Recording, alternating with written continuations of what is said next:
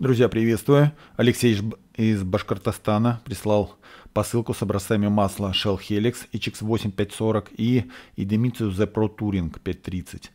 В этом видео я проверю Idemitsu. Вот два комплекта образцов. Так, убрал координаты Алексея. И вот описание. Значит, сверху Shell, снизу Idemitsu. Idemitsu использовалась в Toyota Sienna 2012 года, полтора-литровый 1NZ FE.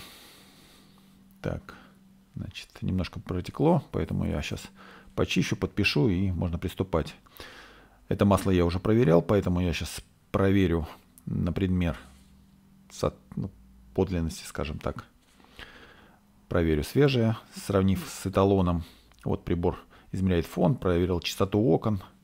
Периодически он это делает, такие калибровки. И вот я уже заложил, но еще на видео это не попало. Раз согласование я поджимаю. Так, смотрите, что намерил прибор. Противоизносных присадок 103%, очень похоже, да. А, кислотная 1,45, в эталоне 1,56 и щелочное 8,2 в эталоне 8. Да, видите, чуть э, выше щелочное, чуть ниже кислотное. Ну, такая прямая вза взаимосвязь. Возможно, тут положили чуть больше кальция, и поэтому, а, значит, э, кислотное чуть ниже, а щелочное чуть выше. Но, в общем-то, сомнений в оригинальности нет. Я так думаю, немного воды здесь, да, совсем меньше, чем э, в эталоне, скажем так, лучше образец.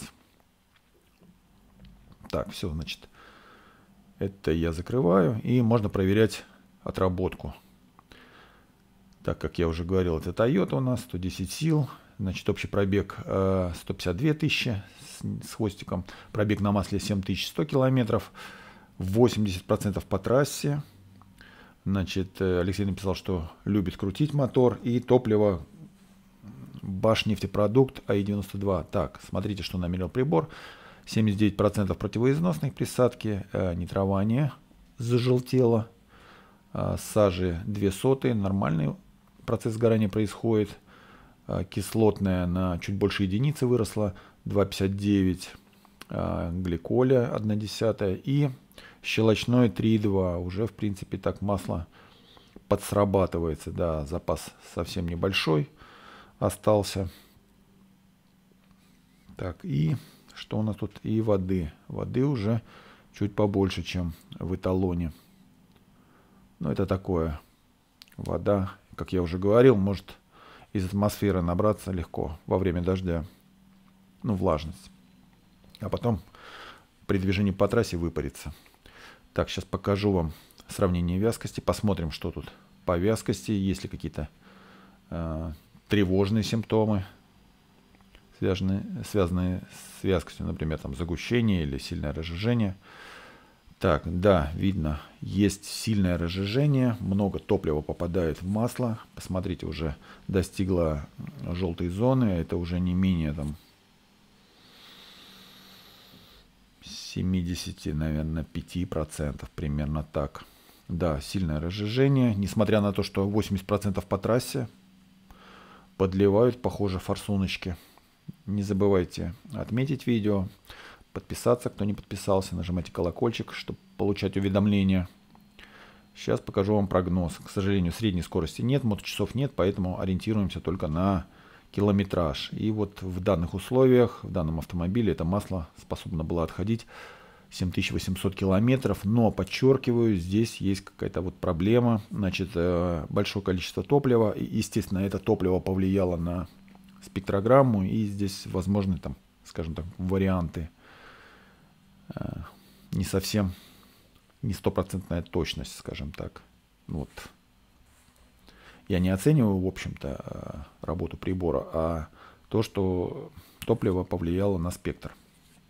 Ну и вот такой результат по нитрованию более-менее. Ну и видите, там 8700 по, по вязкости. Тоже здесь э, проблема очевидна. Значит, ну, скорее всего, имеет смысл там, я не знаю, помыть форсуночки. Это похоже тоже, да, у нас э, непосредственный впрыск вот. имеет смысл, может быть, проверить, помыть форсунки, снять или, или помыть на моторе. Но, кстати, вот я недавно проверял масло. Э, акцентирую, если промываете какой-то э, промывкой, значит, э, не снимая форсунки с мотора, желательно после промывки, несмотря на то, что пишут, можно оста- оставаться на масле, желательно промыть хорошо двигатель, ну, в том числе с помощью промывочного масла, потому что я столкнулся, масло хоть и поменяли, но Э, видно действие промывки на, на масле, на, уже на новом. То есть прямо на баночке видно, я покажу вам. Э, прямо такие круги, как будто пленка масляная рвется, и такие круги увеличивающиеся растекания. Такой моющий эффект. Такое я видел на, на дизелях каких-то, тоже, да, при, при добавлении большого количества моющей присадки.